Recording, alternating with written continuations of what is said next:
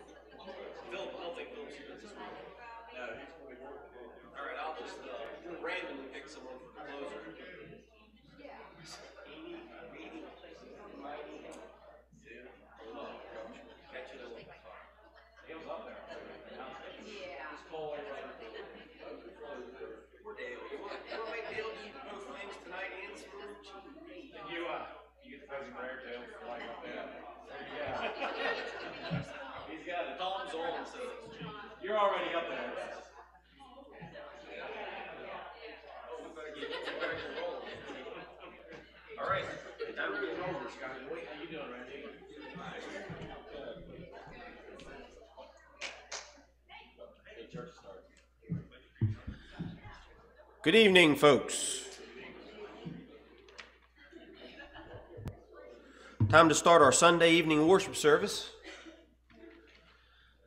Our first song this morning will be number 50. This evening.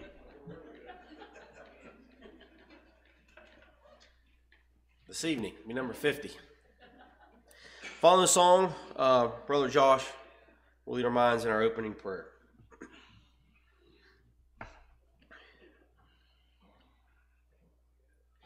Days are filled with sorrow and care, hearts are lonely and drear. Burdens are lifted at Calvary, Jesus is very near. Burdens are lifted at Calvary, Calvary, Calvary lifted at Calvary, Jesus is very near. Cast your care on Jesus today, leave your worry and fear. Burdens are lifted at Calvary, Jesus is very near. Burdens are lifted at Calvary.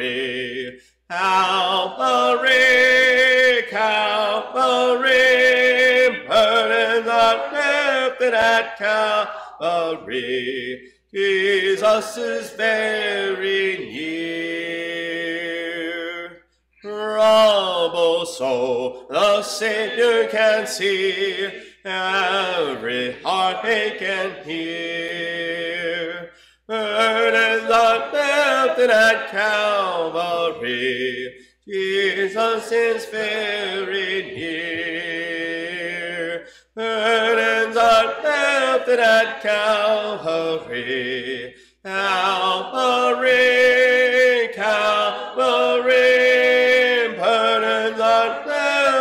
at Calvary. Jesus is very near.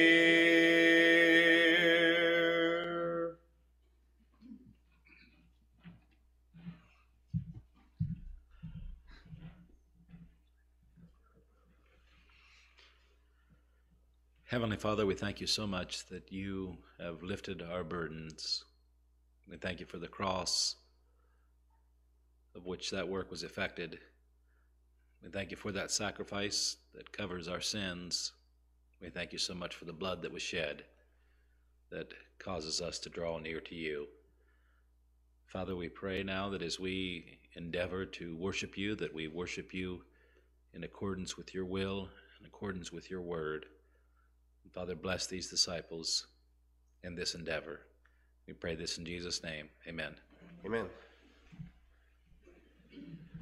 If you'd like to mark your song books, Song of Invitation following the lesson this evening will be number 705.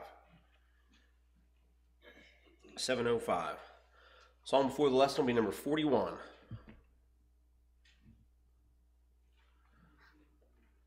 Number 41. By his wonderful grace, we shall look on his face, redeemed by the Savior's love. Since we're saved by his grace, and in heaven a place is prepared for my soul someday. By grace we come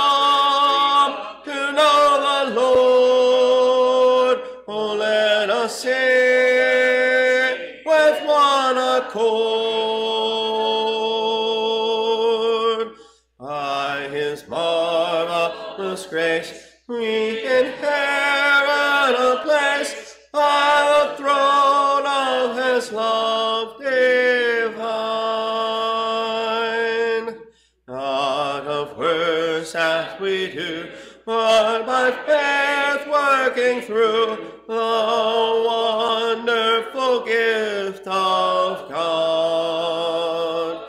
He has given a plan on his great love for man. By his grace we're redeemed from sin. By grace we come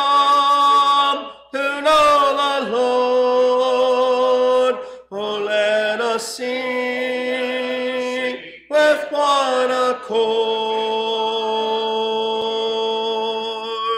By his marvelous grace we inherit a place by the throne of his love divine. As we run in the race, we keep growing in grace, a crown to receive someday. For his grace will abide if we turn on aside, love and mercy will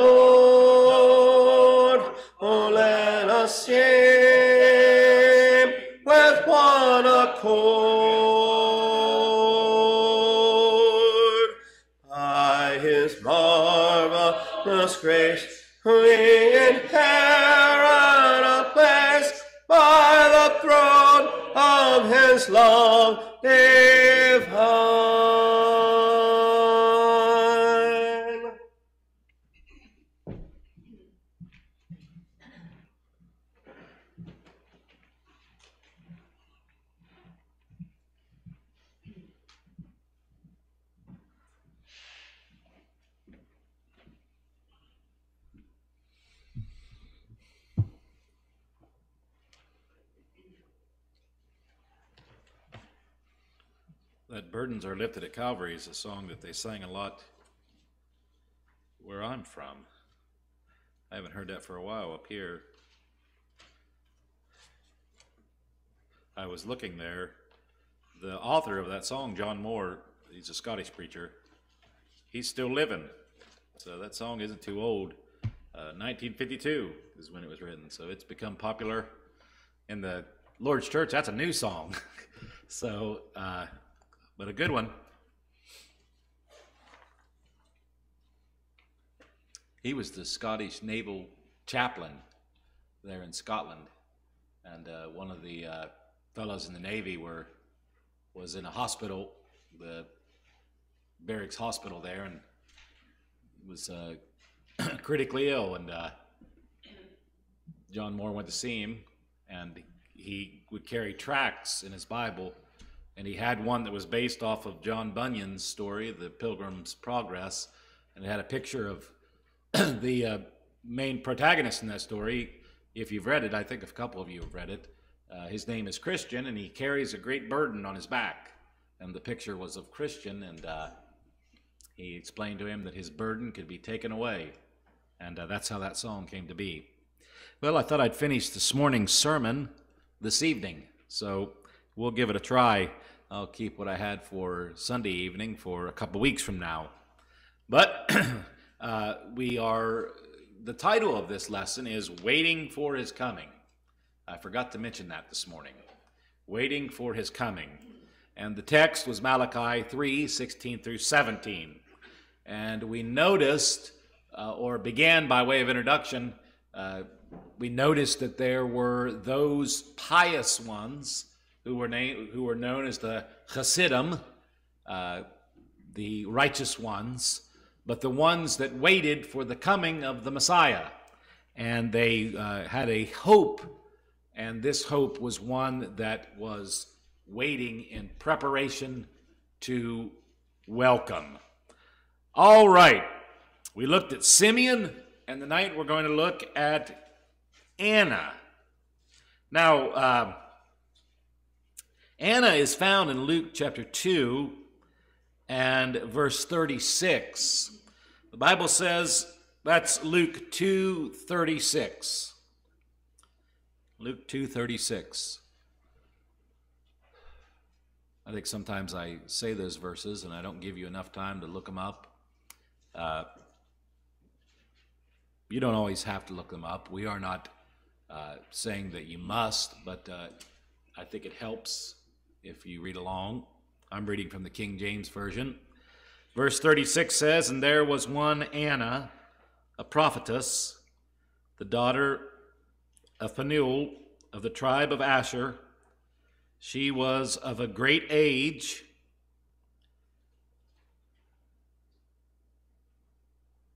and had lived with a husband seven years from her virginity. She was a widow of about fourscore and four years, which departed not from the temple, but served God with fasting and prayers and night. Now, I was going to do the math on this, but uh, I didn't. I thought I'd ask you all. How old do you think she was? 91? Now, how do you come to that? So, uh, yeah, so she was four score and four years. That's 20, 40, 60, 80, and four years. Now, and she had been a widow for how long? So she was a widow, she was a widow for 84 years. So, not for the now, and she had lived with her husband seven years from her virginity. So we aren't told the age that she got married, right? That's why I didn't do the math. We're not sure how old she was. Now, I can tell you the average age would be 12 to 15. So, she gets married seven years after she is 12 to 15. So let's meet in the middle and say she was 20 when she got married. Does that make sense? So if she was 84, 84 plus 20 is what?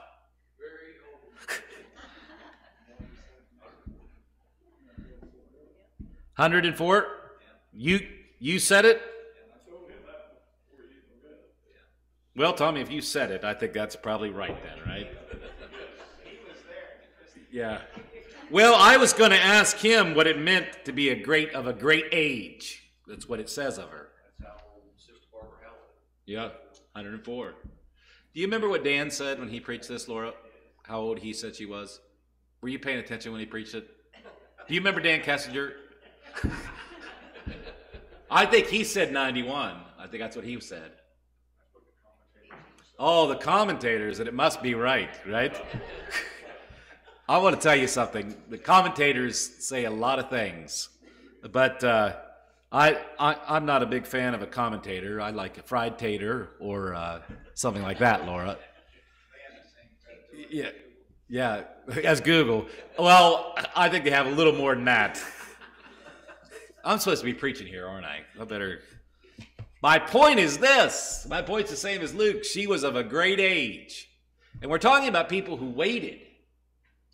So if she's anywhere between 90 and 100 and some years old, she's waited a long time, hasn't she? Especially in a day when uh, folks didn't live very long. I don't know. Women probably live longer. We know that that's a fact today. Women live longer. Uh, I'll be doing something really stupid, and Laura always says, uh, This is why women live longer, right here. But uh, I sometimes do stupid things, believe it or not. But Anna, Bible says in verse 38, she came in that instant and gave thanks likewise unto the Lord and spake of him to all them that looked for the redemption in Israel, or in Jerusalem, excuse me. Anna, we said that Simeon means to hear or hearing. Anna's name uh, is or means gracious. That's not a good name for us. I have a, a, a niece, Laura's sister's daughter's name is Anna. Did you know that it meant gracious? She is a very gracious young girl, too. Uh, Anna is gracious. She is someone who has come to a great age.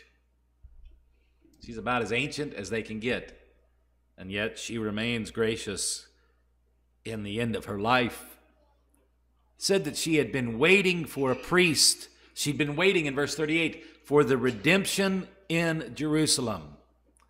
Anna was serving God with fasting and prayers night and day, living soberly and godly. That's what Titus 2 and verse 12 says of the saint. That we ought to deny ungodliness and worldly lust, and we should live soberly, righteously, and godly in this present world.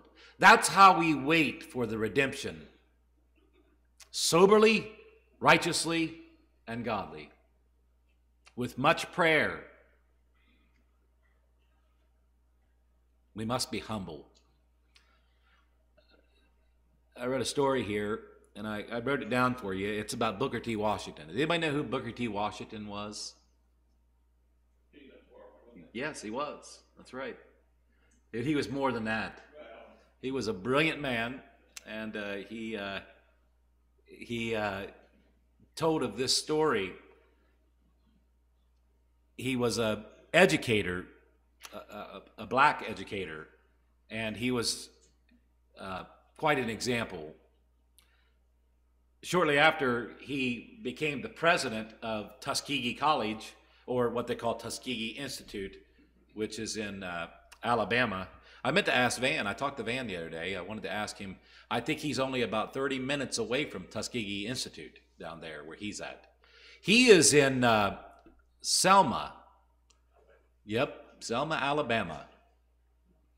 Uh, of course, Selma is now famous for the civil rights uh, movement. I asked him, I said, Have you walked across the Pettus Bridge? Uh, when he first went down, he didn't know what the Pettus Bridge was, but he, he knows now. Uh, but when Bush, uh, Booker T. Washington was the president of Tuskegee, uh, he was walking down uh, town in uh, kind of an exclusive sec- section of the town, and he was stopped by a very wealthy white woman. she didn't know who he was and she asked if he'd like to earn a few, a few dollars. Uh, she told him, I have some wood that needs chopped. And he rolled up his sleeves and followed her home, chopped up the wood, and when he was finished, he carried the logs into her house and stacked them by her fireplace. And while he was doing that, a little girl recognized him and she let her mother know who it was. So the next day, the woman went to see Washington at his office and began to apologize profusely. And this is what uh, Washington said to her. He said, It's perfectly all right, madam. Occasionally, I enjoy a little manual labor. Besides, it's always a delight to do something for a friend. She shook his hand and uh, warmly, and uh, she assured him that his meek and gracious attitude had endeared him and his work to her heart. Could you imagine such a thing? Now, I want you to think about. We have trouble relating to that because we didn't live during that time in Alabama. And we're not black.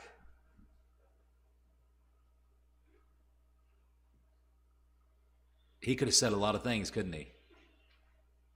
He could have got mad.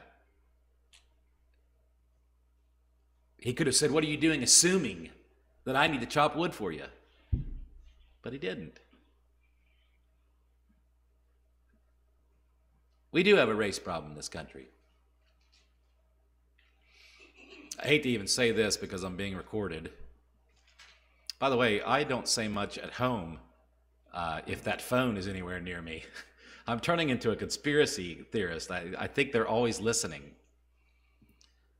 But we do have race problems in this country, there's no doubt. I do not see one shred of evidence of systematic racism. I don't know of one law that's racist, even though I hear that word all the time, or those words, that there is systematic racism. But there's racism that exists. And we as the church need to confront it anytime we see it, see it rear its ugly head. The fact of the matter is, I think both sides need to stop focusing on color and race I only know of one race, folks, and that's the human race. And Jesus died to save all of them. And Booker T. Washington understood that. He was a man of faith. I don't know necessarily what denomination he was part of. I should know that. But I know that he had integrity. And I think sometimes maybe one of the uh, things that we need to practice a little more is not focusing on what divides us so much when it comes to our neighbors. And by our example, show them Jesus and the truth of his gospel and let them know that the redemption of Jerusalem has come. I think of our brother Marshall Keeble. He had to deal with racism constantly constantly. He had to sleep in his car because hotels wouldn't let him have a bed. Can you imagine that? I know one instance where a brother owned the hotel. Said, Boy, I sure wish I could give you a bed, Brother Keeble. Could you imagine that? One time he was preaching, maybe I told you all this story.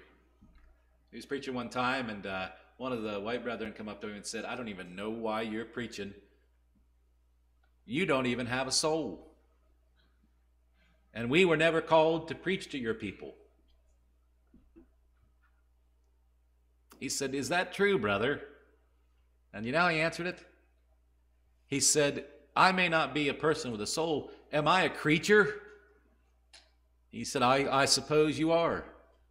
And he said, Well, if I'm a creature, Jesus said, Go and preach the gospel to who? To all creatures. And before that meeting was over, Keeble had baptized that white brother, by the way. Isn't that amazing? Waiting for the redemption of Jerusalem. And finally, Joseph of Arimathea. In Luke 23 and verse 51, the Bible says, And the same had not consented to the counsel and deed of them. He was of Arimathea, a city of the Jews, who also himself, what? Waited for the kingdom of God. Joseph means adding. A D D I N G. I think that's interesting. Joseph was waiting for the kingdom of God, and Joseph was not one who was quick to attach himself to Jesus. As a matter of fact, he is not ready to tell them that he is a disciple. Remember, Jesus was tried before the Sanhedrin, and there were at least two members who we know to be disciples who were part of that. And Jesus dies. After his death, Joseph of Arimathea is one of the men who gathers up his body. The Bible here says that he was waiting for the kingdom of God. And why does Joseph of Arimathea hesitate? It's interesting that his name means adding. You see, I think Joseph of Arimathea could be guilty of playing the odds. He was adding up the dots, if you will, to use his name as a play on words. And when Jesus died, it seemed like all hope was gone. Joseph of Arimathea felt that he was doing a kindness to his friend, Jesus. But you see, Joseph had not added up or factored in his place in prophecy. Have you ever wondered how Joseph of Arimathea must have felt after the resurrection and after he is a man who is in the church as a Christian? I imagine someone might have come up to him and said, Have you figured it out yet? Have you added it up?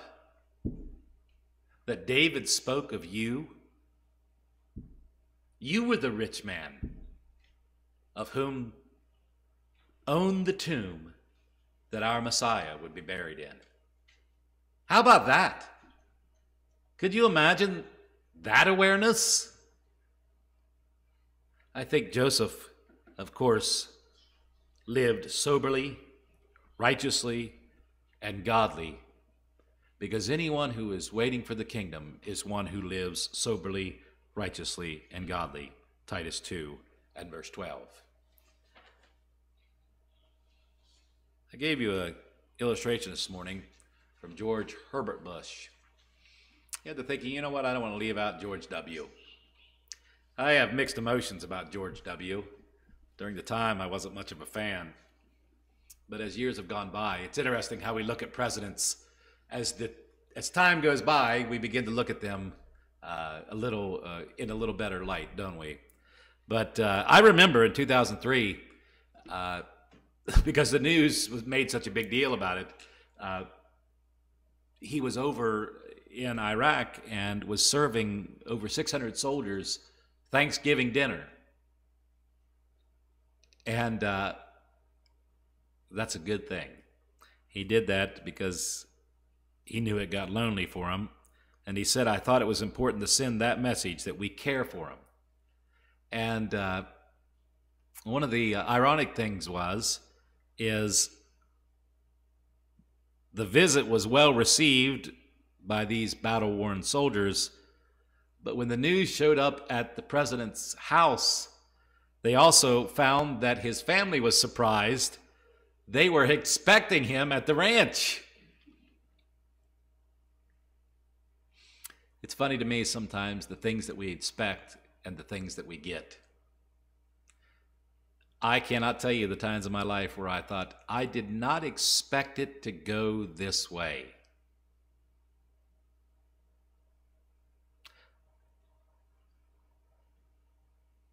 I look at my life and I don't think that I could have seen the blessings that I have in my life. I couldn't have expected them at all. I mean, Laura, I told you she is a very lucky girl. And uh, I'm sure that things have worked just the way she wanted them. Her Prince Charming is now in her life, and it worked. Uh, the plan came together. But the way the Lord mixes up our life to get us where we need to be is unexpected sometimes, to say the least. Well, I told you I wasn't going to keep you too long tonight. I'm in the conclusion.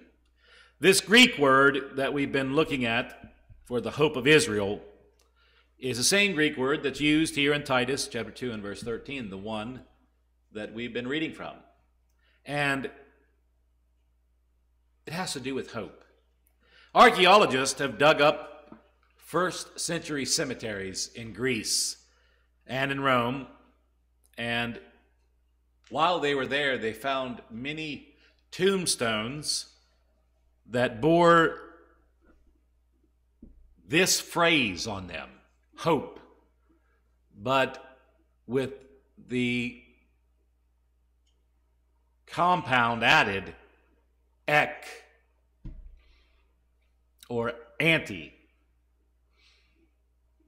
All of these tombstones that they found had the word hope on them, but they were preceded with the word no. Can you imagine that? Finding a tombstone, not just one, but a number of them from the first century that had the words no hope. That's a scary thing. Imagine living your entire life with no hope. Imagine going to your death with no hope. Now, I have thought quite often, especially recently, I don't know how people do it. So many people are dying, and so many of them do not have a faith. And I don't know how they face death. I think that we are given a picture of how they do it in the Bible when it talks about their conscience being seared. I mean, to face down death without faith. It's not easy, is it? And yet I see people do it all of the time. Constantly. Hope is an anchor of the soul. Hebrews 6 says in verse 19, both sure and steadfast. And that's what we hold on to, folks. When you throw out an anchor, you make sure it's connected, don't you? You make sure that you've got a hold of the connection, that there's a good connection. Because if there's a good connection, that anchor generally isn't going anywhere. And more importantly, the boat isn't going anywhere if the anchor is lodged into the foundation that it needs to be. That is where the sure and the steadfast part comes in. Our faith needs to be strong, but our foundation needs to be stronger. And so tonight, as we've looked at Simeon and Anna and Joseph of Arimathea, can we say like them? Can we rejoice like them that we have seen the hope of Israel? We want to encourage you as we stand and sing our hymn of invitation.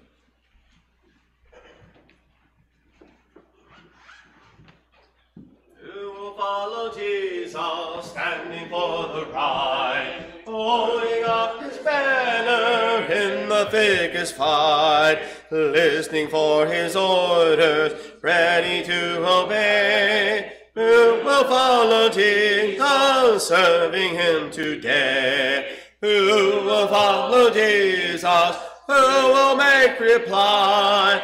I am on the Lord's side, Master, here am I. Who will follow Jesus? Who will make reply? I am on the Lord's side, Master, here am I.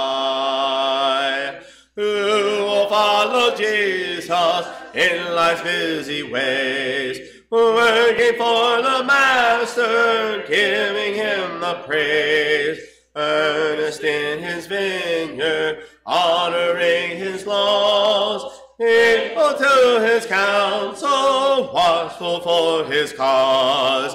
Who will follow Jesus? Who will make reply? I am on the Lord's side, Master, here am I. Who will follow Jesus? Who will make reply?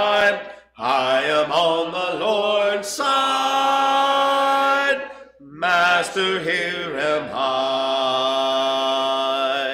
Who will follow Jesus when the tempter charms?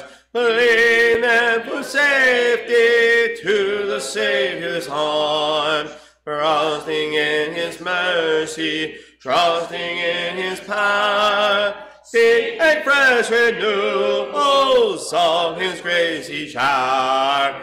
Who will follow Jesus? Who will make reply? I am on the Lord's side, Master, here am I.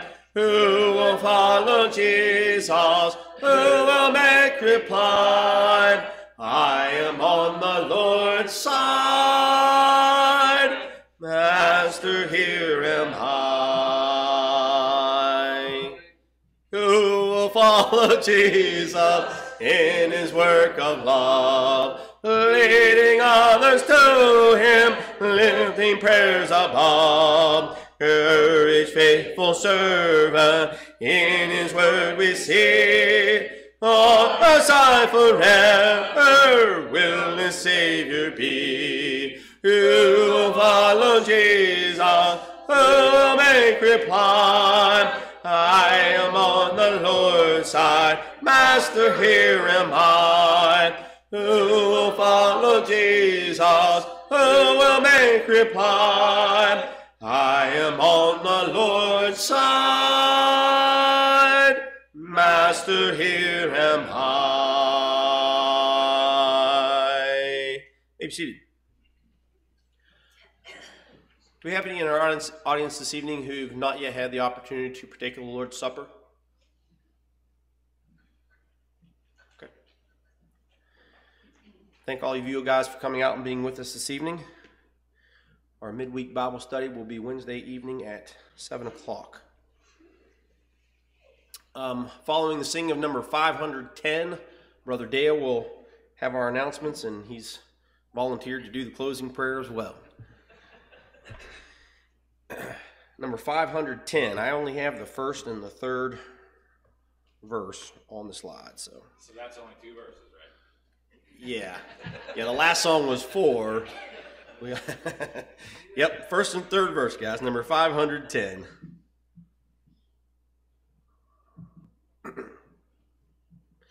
How sweet will be the welcome home when this short life is o'er, when pain and sorrow, grief and care shall trouble us no more. Welcome home, sweet welcome home, my home, home, sweet welcome home. The Christians welcome home. If we are faithful we shall gain a land of promised rest, where with the Savior we shall live and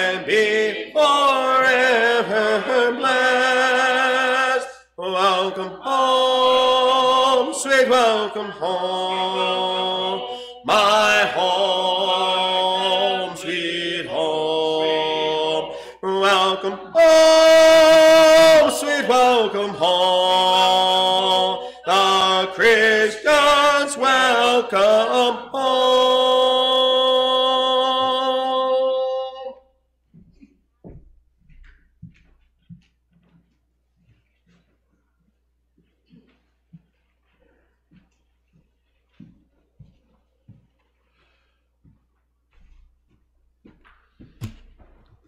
Glad you saved that yawn till we was done, Scott. Good evening. Good evening. Thank you, Josh. And you got to remind Laura every day, just like I do my wife. She is one lucky woman. One lucky Yeah. In between swings, I am one lucky man. uh, we have a few prayer requests this evening. Um, Rhonda Miller White, that's uh, Tom and Gail's cousin, has heart problems. Remember her in her prayers. Uh, Rachel Gray will be going in for cataract surgery on her right eye tomorrow at 9:15 in Winchester, and she goes back on Tuesday or 7:20 for a checkup of the same eye. So keep Rachel in your prayers. Linda Fleming, Sharon's sister, was admitted this morning to Frederick Memorial. Any updates? They've been testing her today. They, they what, ma'am? Been giving her tests. Oh, she's testing today. Okay, all right. Uh, and Scott and Shirley will be traveling. They'll be going till July the 6th. They'll be at their camp in Moorfield, and due to that, Ruella will need a ride. Okay? Wednesday the 29th, Sunday, July the 3rd, and Wednesday the 6th. Okay? I think we'll get you covered, Ruella. And it's Alice's ninth birthday today. So remember, we already sang happy birthday this morning, but you only have one birthday, huh, Alice? Okay? Any others? Yes, sir. Uh, we went to the, uh, Sing at Roll Top last night, and Brother Ed Howell, we talked to them, said to tell everybody hello. He's going, has to go in for some back surgery, and, uh, he doesn't know the time yet, but, uh, he's awaiting that. He's having a lot, a lot of difficulty with his back. Okay. And also the, we need to remember and give thanks and praise for the Supreme Court's decision to overturn Roe versus Wade. And if we haven't done that, we need to do that on a personal basis as well. As we've been waiting on this for fifty years. It's been a while. And we need to be thankful, we need to praise God for that decision. And we need to pray for those who are upset about it. Yeah. We really do. Yeah. I'll take care of it next Sunday. Okay. You got her next Sunday? Oh, Dick's coming next Sunday, isn't it? Yes, yes, I forgot to mention that to you too. Forget it. Oh. Gee whiz. I thought I was going to have me a date, Ruella. Okay. Thank you. Yeah. We'll get you next one. Okay. All right. All right. And we want to remember Brother Ed Howe. And uh, like Scott said, this Roe versus Wade thing, that's, that's, a, that's a great thing. And uh, like I say, let's pray for those who are so upset about this that those people need help. All right, let's, let's go to the Lord in prayer.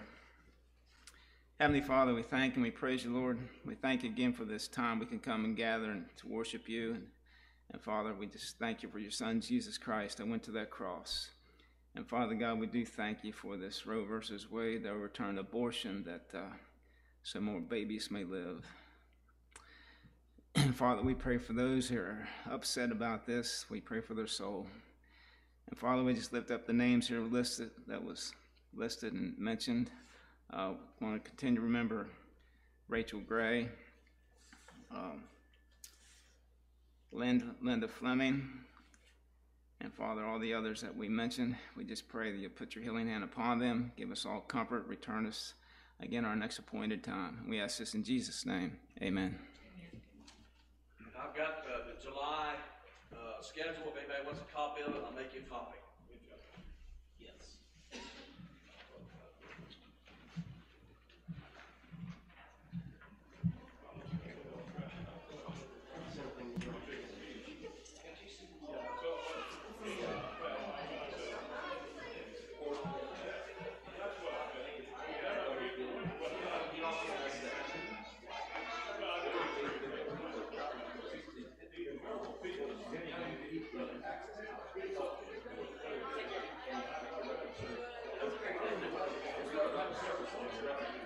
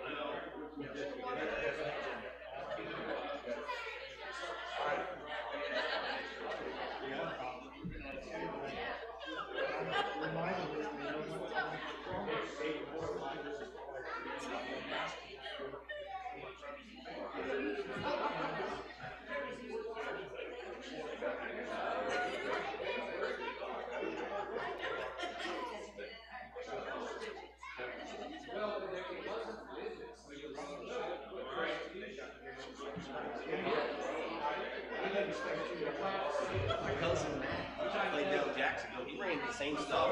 They, they got in a big fight one time down there. They didn't, I mean, they didn't start it, but See, this is the thing. My brother was better than my was. They couldn't stop. Yeah. Yeah, I mean, they couldn't stop. They it's fun tried. It's always They fun tried. to be able to do it. That's when my cousin, he was really good. I have to say that I'm not against, you know. Oh, sure, sure. I just have to. Oh, I know. Well, some people, you know, it's okay for them to say something. It's just not okay for us to say We something. just too, uh, we just too tough. That's all. That's all pretty tough. Pretty good shooters. I was still stopping the balls. I was forty-five. Oh yeah. Yeah. I, when I was in college, I could I could jump up and throw a tennis ball. But see, you're, you're on there. Yeah. He was a, he was a. Just couldn't hold on to it either. He was a guard. Yeah, but I didn't shoot. He's not high school preaching. This guy's at school. So he went to Christian University. And, uh, and we played. And, uh, I think they beat sixty something, thirty something. And I'm just, I brought the ball down, I spread it three, four times. and he was out there, I didn't touch it. But that's what it is. That's the way it is sometimes. These guys are staying. She, she, she is one of those,